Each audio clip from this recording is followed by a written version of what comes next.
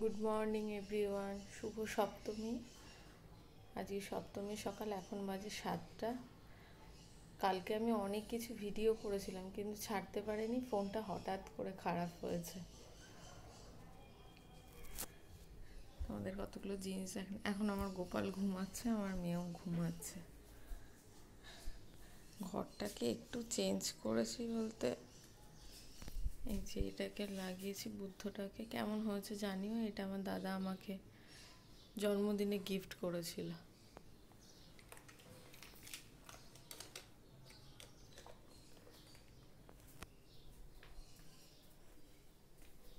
যে গোপাল ঘুমাচ্ছে এখনও।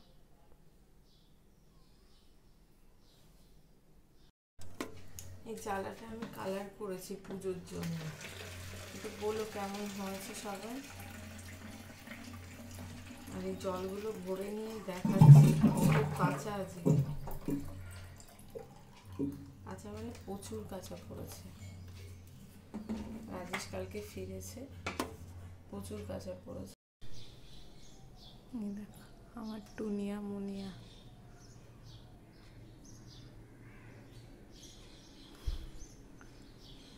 ছটা ছিল, ছটা থেকে এখন দুটো আছে, চারটে মারা গেছে। আর এই যে, আজকের কাঁচা দেখো, এক গামলা কাঁচা। ঠাকুরের পুজো কমপ্লিট আর এই যে, ফোটা দেওয়ার পালা দরজা।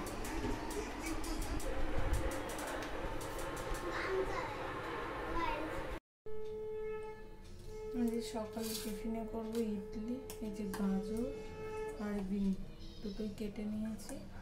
আর এখানে আমি একটা পাউডার ইডলি পাউডার পাওয়া যায় বলে আমি আর করি না। একটা প্লেন নিয়ে আসি আর একটা মিক্স নিয়ে আসি। ওই দুটো মিশিয়ে একসঙ্গে করে নিই। এটাই দিয়ে দেবো।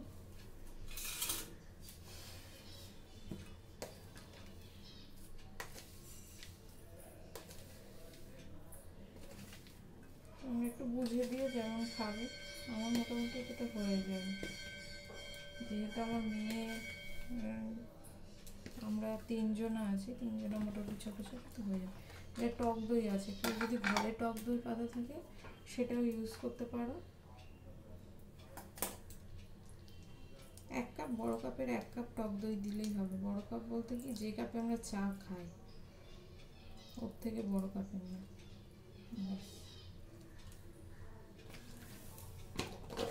এই দুটো বাতাসা আছে, বাতাসা দুটো দিয়ে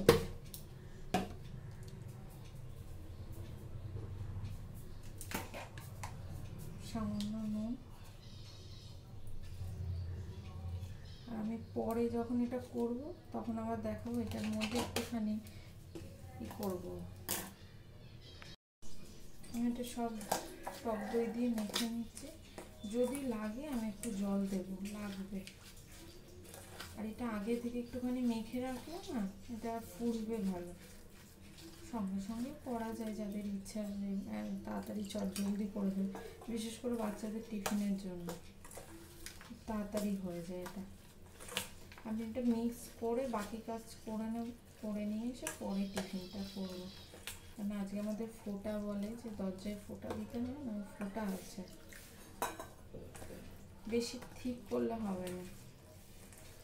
পাতলাও হবে না, খুব থিকও হবে না, মোটামুটি রাখলেই হবে। আর এটা ফুলে যাবে, যেহেতু সুজি আছে, এটা ফুলেও যাবে।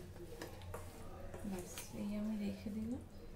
ঢাকা দিয়ে রেখে দেবো, ব্যাস হয়ে যাবে। পরে সকালবেলা ব্রেকফাস্ট করছি। ইডলিটা করব মধ্যে একটুখানি কারি পাতা কুচিয়ে দিচ্ছি। কুচিটা দুটো চারটে তুলে নিয়ে আমাদের একটু লঙ্কা কুচিয়ে দেবো।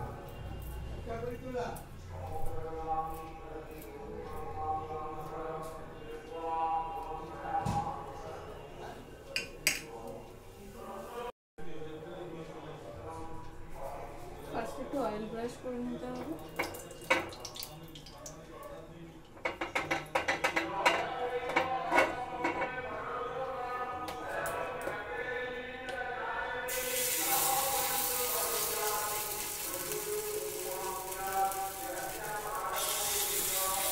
যদি কালো করে এরকম না থাকে, বাটিতে করেও করতে পারবে। গরম জল করে বাটিটার মধ্যে বসিয়ে দিলে এরকম।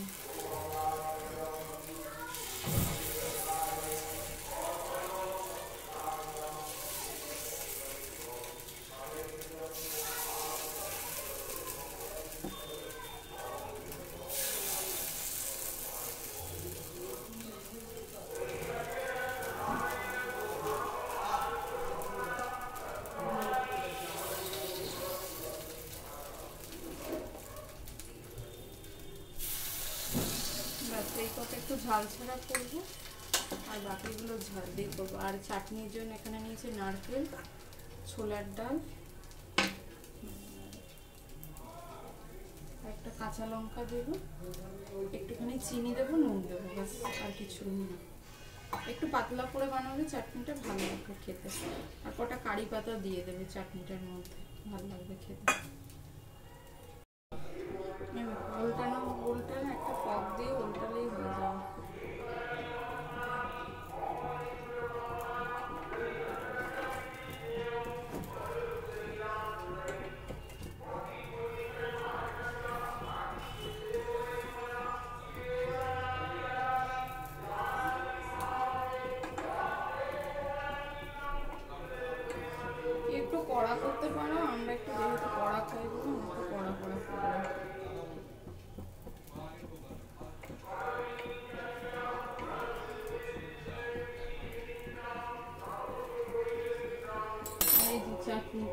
অনেকে একটুখানি সর্ষে আর হলো কারি পাতা, শুকনো লঙ্কা। আমি দিইনি, যেহেতু আমরা দুজন খাব, এখন আর খুশি সস দিয়ে খাব।